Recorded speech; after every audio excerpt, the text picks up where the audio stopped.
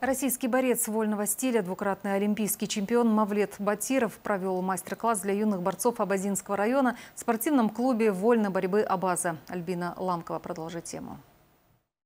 Мавлет Батиров – дагестанский чемпион, мастер спорта по вольной борьбе. Он успешно выступал на турнирах самого высокого уровня. За годы спортивной карьеры Мавлету достоин двух высших олимпийских медалей. Также является чемпионом мира. Неоднократно поднимался на скамью победителей на первенствах России и Европы. Путь к наградам непростой. Ему предшествует в первую очередь упорный труд, говорит именитый спортсмен. Любой труд, он какие-то свои плоды по-любому дает.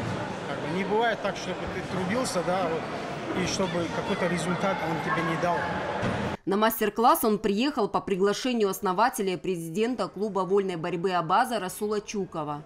И он завершил карьеру, я завершил карьеру, несмотря на это продолжаем поддерживать связь, э, общаться. И у нас э, действительно такое радостное событие, э, которое связано с приездом нашего друга, брата, с которым мы вместе тренировались, выступали на соревнованиях вместе.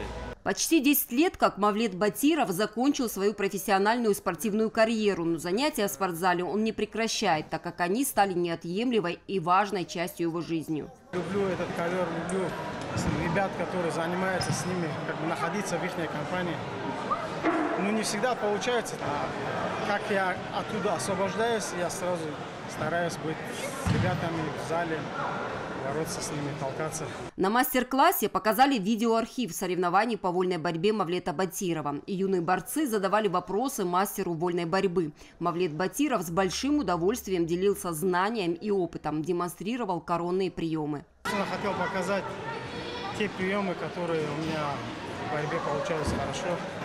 Сейчас вот, к сожалению, условия есть, но результата мало в том же нашем зале по совету, да, там а результат как бы спад такой пошел.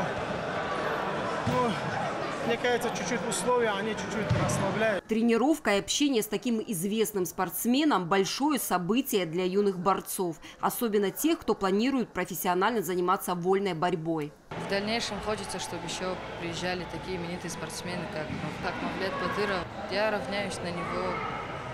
В дальнейшем хочу таких же результатов, как добился Мавлет Батиров пожелал юным спортсменам при всех успехах и любых результатах в спортивной карьере оставаться воспитанными людьми. Альбина Ламкова, Заурлиев и Вести Карачаева-Черкесия, Абазинский район.